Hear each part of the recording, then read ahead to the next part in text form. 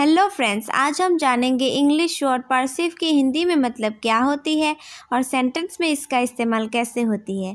पार्सिव की मतलब है समझना, देखना, बूझना, अनुभव करना। चलिए कुछ एग्ज़ाम्पल के ज़रिए इस वर्ड की हिंदी में मतलब बहुत अच्छी तरह से समझ लेते हैं।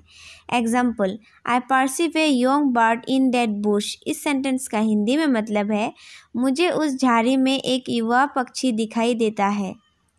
चलिए नेक्स्ट एग्ज़ाम्पल जान लेते हैं।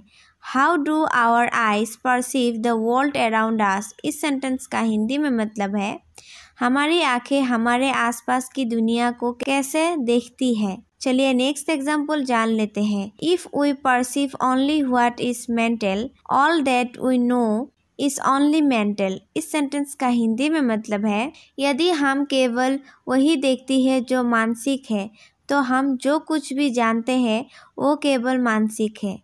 चलिए नेक्स्ट एग्ज़ाम्पल जान लेते हैं। I perceive pressure heat colour sound flavour and order in my five sense इस सेंटेंस का हिंदी में मतलब है, मैं अपनी पाँचों इंद्रियों में दबाव, गर्मी, रंग, ध्वनि, स्वाद और गंध का अनुभव करता हूँ। सो फ्रेंड्स उम्मीद करती हूँ परसिव की हिंदी में मतलब क्या होती है और सेंटेंस में इसका इस्तेमाल कैसे होती है, वो अच्छी तरह से समझ गए होंगे।